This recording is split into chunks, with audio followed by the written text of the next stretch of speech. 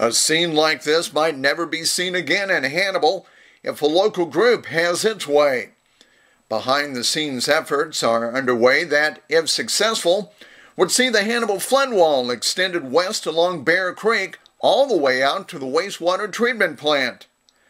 Larry Owens, an ownership partner in the Hannibal Baseball Group, whose Cavemen baseball team will be playing in Clemens Field starting in 2009, is due to meet with U.S. Army Corps of Engineers officials later this month.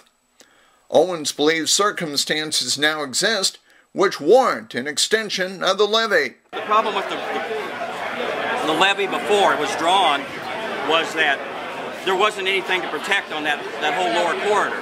Well, now we've got the ballpark. Bob and I have bought the property next door. Uh, we're going to build a, permanent location for the Tom Sawyer days for the JCs with Kevin Knickerbocker.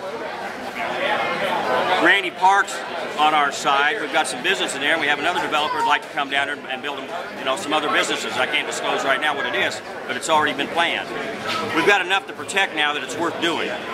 Owens feels money is available for such a project. Uh, there's money already left over from last time.